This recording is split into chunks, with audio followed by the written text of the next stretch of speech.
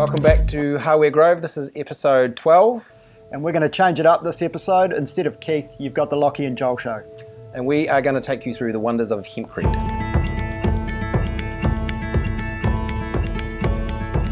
So behind me here we have our mix master Ed, who's making a brew of hempcrete.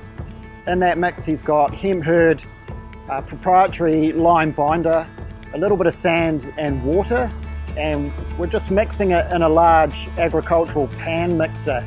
And the key to the pan mixer is it's more like making a cake mix as opposed to tumbling it in a bell mixer. Once the mix is complete, that's when the manual labour begins. We put it into buckets, carry it in, and the boys go to work tamping with their sticks.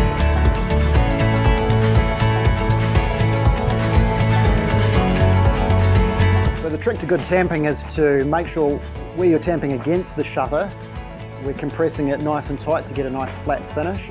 And in behind the part that we're not seeing, we're tamping it enough to stick together, but we're trying to keep it a little bit loose to maximise the insulation of the hempcrete. On this wall behind me that you see, you can see temporary framing, which is part of our formwork. We pour about 600 ml at a time and we just slide that form up as we go.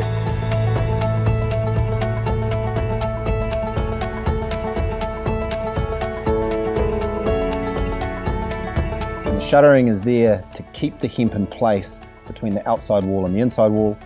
The hemp gets compressed in there, and when we remove the shutters, we're left with the beautiful finished hemp wall, which is then plastered.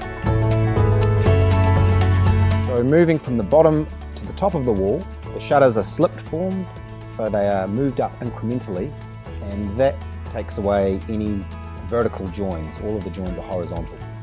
And as a result, we're left with this beautiful stratified layering.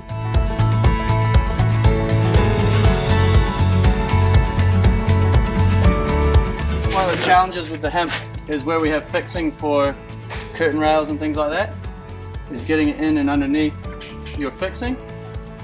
But what you can do is come in afterwards and patch up your holes.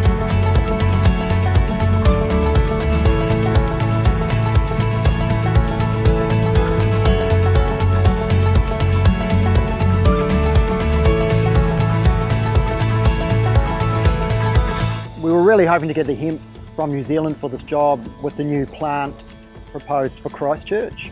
Unfortunately, due to COVID-19, that plant hasn't got up and running yet, so um, this hemp's come from Australia. What we've got here is two types of hemp hurd.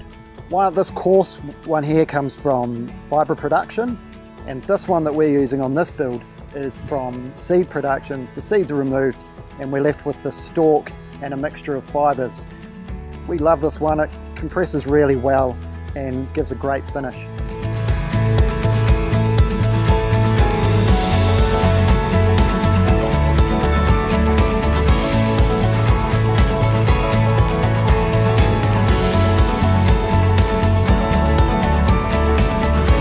biggest of thank yous to the whole Hempcrete team. You guys helped create this, and it's really hard work.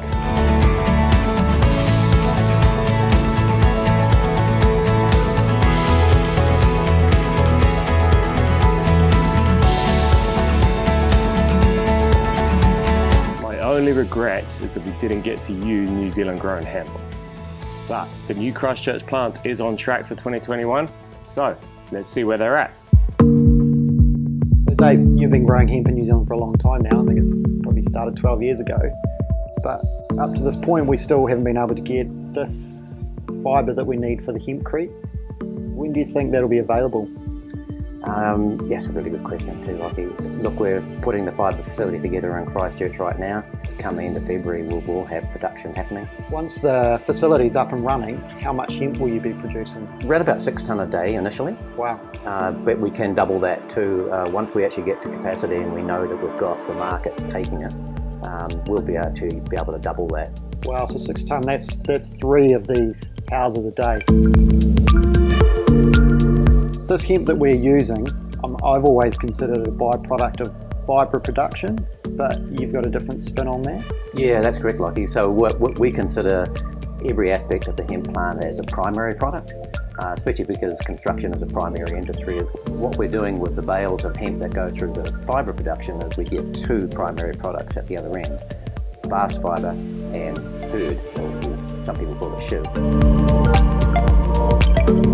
It's estimated that hemp will absorb about three or four times the amount of carbon as pine trees over the same period of time. As well as the carbon in the hemp, we're using a lime binder. As it cures over time, the chemical process turns it back into limestone and that process involves absorbing carbon dioxide out of the air. Yeah, so that's really great because what that means is that um, over the next 100 years, I guess it is, that this is going to continue to absorb carbon, eventually turning into stone.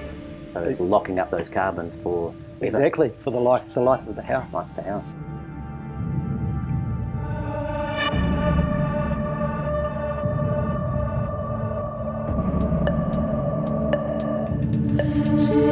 This is our second hempcrete build. In a month's time, we're going to be starting our third, and we're really excited about the potential to be building these sorts of houses all over New Zealand.